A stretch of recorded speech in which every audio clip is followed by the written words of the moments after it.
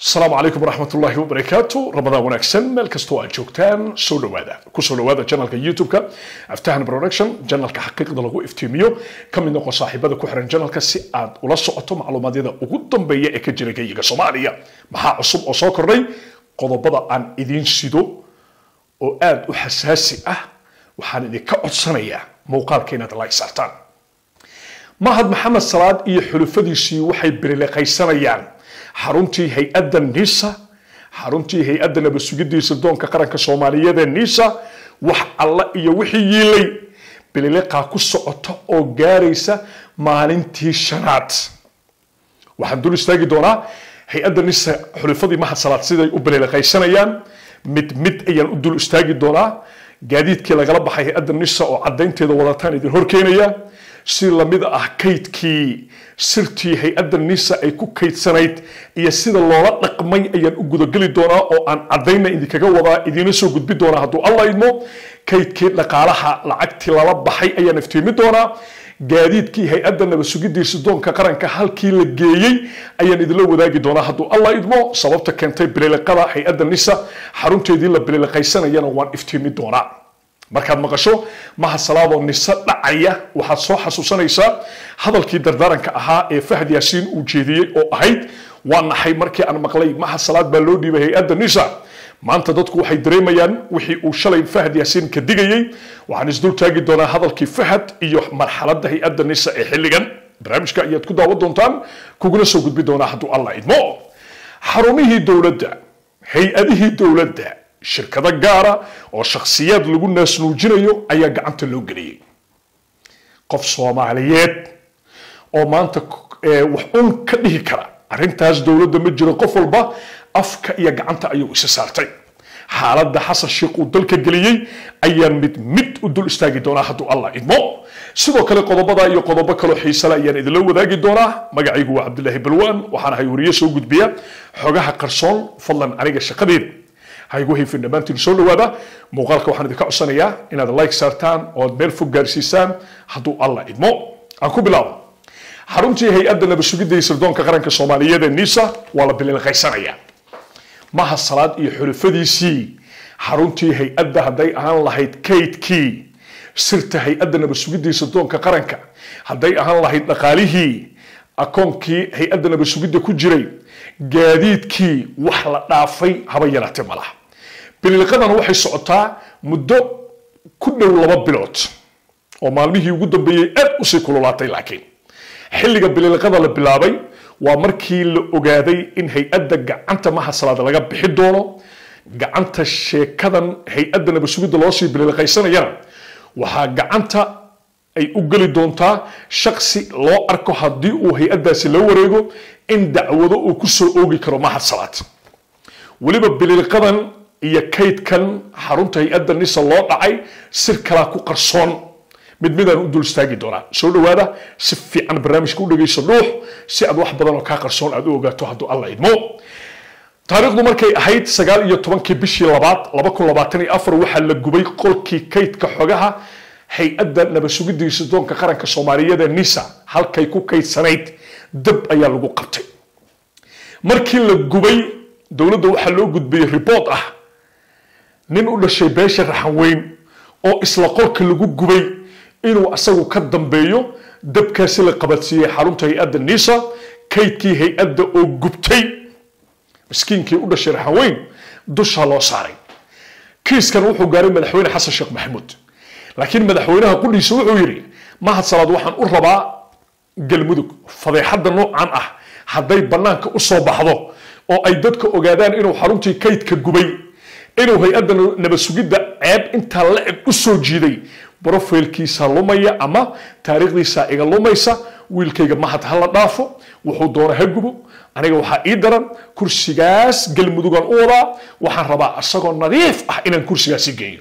Laakiin kaydkan uu gubay haddaan inta qaado saas ku geeyo ceebay noqonaysaa. Taariikhdiisii siyaasadana mugdiya gelisa hoosaa loo dhigay taarikhdu markay ahayd toddobiyo labaatankii bishii tagtay march laba kun iyo labaatan iyo afar geerishkii ama xaruntii gaadiidka lagu kaydiyo hay'adda nabadsugidda iyo sirdoonka qaranka geerishkii gaarka u ahaa waxaa lagala baxay sideed iyo toban gaari oo qalabaysan kuwaasoo lala aaday guriceel sideed iyo tobankii gaari waxaa lala aaday guriceel arrintiina hoosaa loo dhigay mar kale habeen sii horeysay isla bishan aanu ku jirno afraad laba kun iyo labaatan iyo afar bishan labadeedii.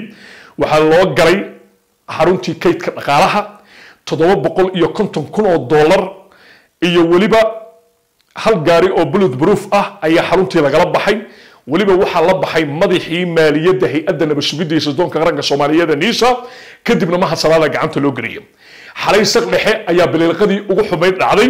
Waxaana laga rartay waa gaari saddex gaari oo xamuul ah oo lagu raray hubka culus iyo midka fudud. Dhammaantoodba waxaa lagala baxay xarunta hay'adda nabasugidda sirdoonka qaranka soomaaliyeed niisa. Hubkii saasaa loo rartay gaadiidka dhaqaalaha iyo hubkana waxaa la wada geynayaa. Guriceel biliilqadan marka laba arrin baa ku jirta. Midda koowaad waxaa la baabi'inayaa sirtii mahasala dembiyadiisii uu kaydiyey fahad yaasiin waxaa la rabaa in la baabi'iyo dhammaan hay'adda nabasugidda kaydkii ay kaydisay dembiyadii mahad salaad.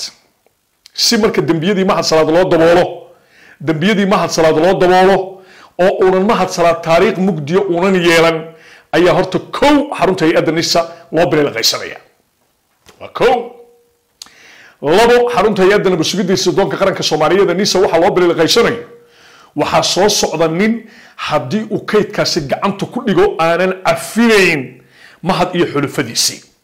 Ninkaasna baqdinaa laga qabaa.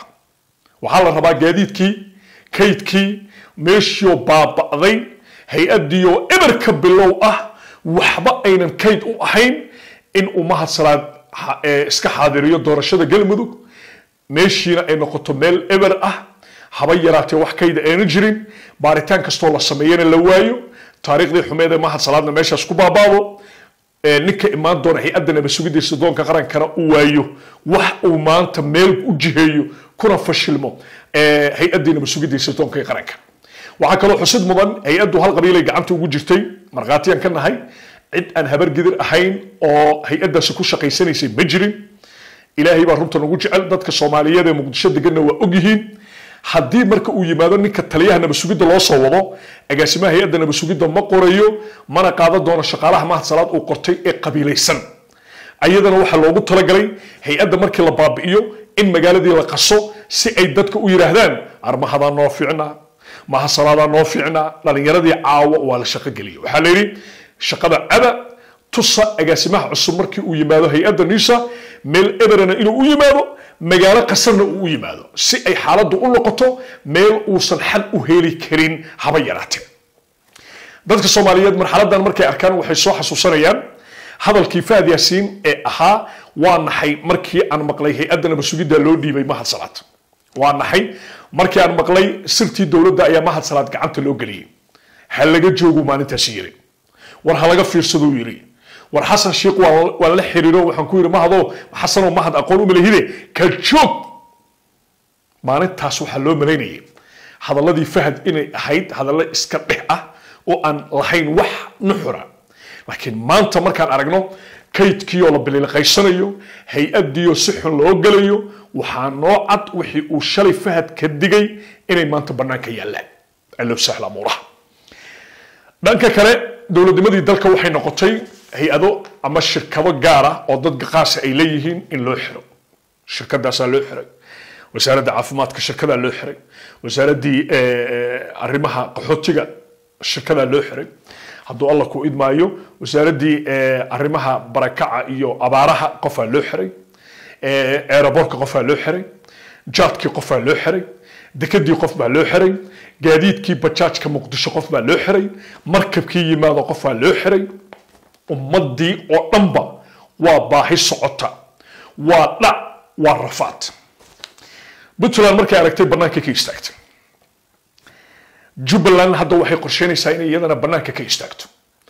Meesha waxaa ku gacan galay oo la dhacayaa waa digle iyo melifle iyo hawiye yeelkadiin marka. Howl u taalla soomaalidii kale maaha. Ama ha laydin dhaco ama damujidiid iska qabta labadaas hawiye iyo digle melifle u taallaa sheeke sheeke lama rabo. Wallaahi bay ka tahay in aysan aqbalayn dadka damiirta leh in damujidiid ay hoos joogaan.